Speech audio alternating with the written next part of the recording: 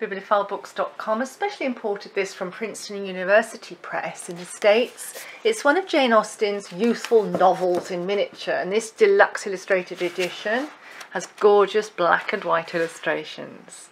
When Cassandra had attained her sixteenth year, she was lovely and amiable, and chancing to fall in love with an elegant bonnet her mother just com completed bespoke by the Countess of she placed it on her gentle head and walked from her mother's shop to make her fortune. The beautiful Cassandra is irreverent, humorous, full of occasionally misspelled words. It's 12 chapters, each consisting of a sentence or two. And it narrates the slightly criminal adventures of 16 year old title character, which is based on Jane Austen's favourite sister, Cassandra.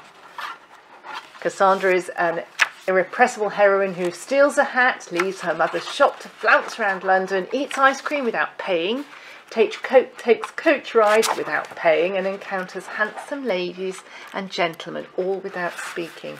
72 page softback published at $16.95 or £13.99 in the UK, and through bibliophilebooks.com is just £6.